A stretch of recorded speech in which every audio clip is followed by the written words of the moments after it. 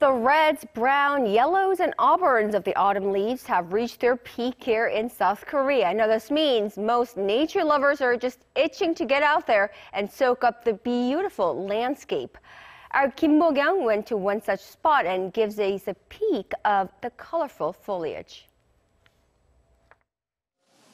The autumn foliage has already reached its peak, but it's not too late to experience it in all its glory at this place. At Hwadam Botanic Garden, only 40 minutes away from Seoul, people can walk through the beautiful scenery surrounded by around 400 types of maple trees.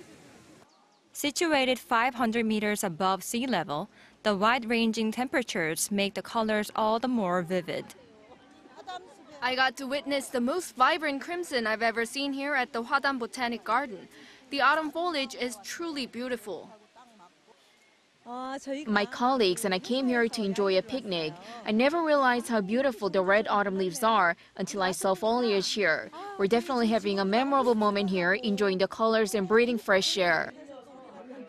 Not only that, you don't have to hike deep into the mountains. Senior citizens and families with young kids can enjoy the whole garden in comfort thanks to the level terrain. The path is very nice to walk on, so people with strollers and wheelchairs can enjoy the view. If walking gets tiring, there's a monorail.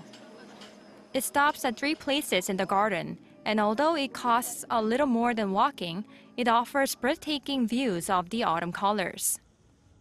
There's a lot more here than just the red maple trees.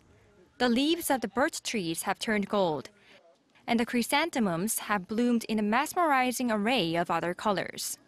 Visitors can enjoy the autumn leaves of Hwadam Botanic Garden until this Sunday. It might be nice to have meal beforehand too, because food is not allowed inside. Kim Bo-kyoung, Arirang News.